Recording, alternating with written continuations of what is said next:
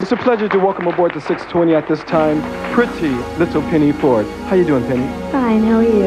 Okay, you know I miss you since you've been gone. Oh, I missed you too. Wow, so it's nice to have you back again. It's good to be back. That's good. Are you free tonight? Of course, I'm free every night. I'm beginning to love this show more and more. I'm sure you do. Hey, listen, last time you here, you didn't have enough time to do a song for us, but can you do one this time? Of course, I'd love to. Yeah? Will you do it for me? Yes. What is it called? Change your wicked ways. All right.